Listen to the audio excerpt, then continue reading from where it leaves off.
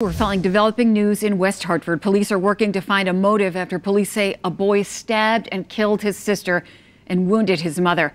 Now, grief counselors will be providing help at schools. Police tell us the crime happened yesterday at a home on Stoner Drive. That's right off of Mountain Road.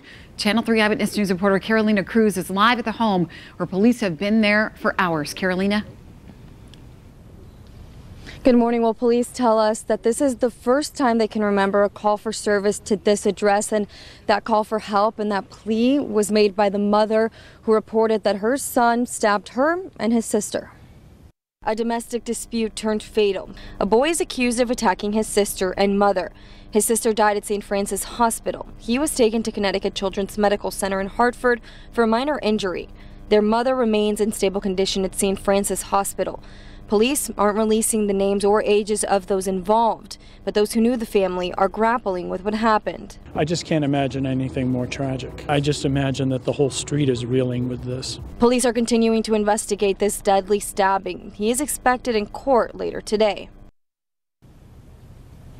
The West Hartford superintendent called families yesterday extending support. There will be grief counselors at different campuses today.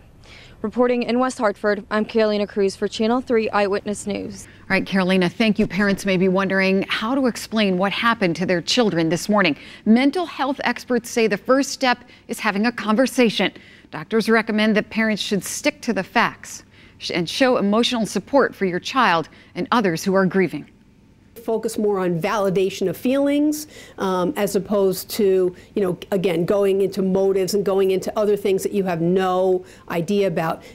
Psychologist Laura Saunders says if you know the affected family, check in with your kids and ask how they're holding up, but don't push too hard if they don't want to talk about it. For more information on this story, head to our Channel 3 app.